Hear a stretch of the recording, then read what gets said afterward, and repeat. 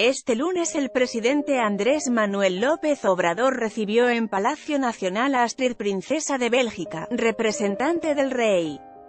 Felipe. A través de redes sociales el mandatario mexicano compartió un mensaje con una fotografía de la princesa, pues el encuentro fue en privado. Recibimos a Astrid, princesa de Bélgica, quien encabeza una delegación ministerial del ámbito económico con representantes de 137 empresas de los sectores de alimentos y bebidas, tecnologías de la información, manufactura, farmacéutica y dispositivos médicos.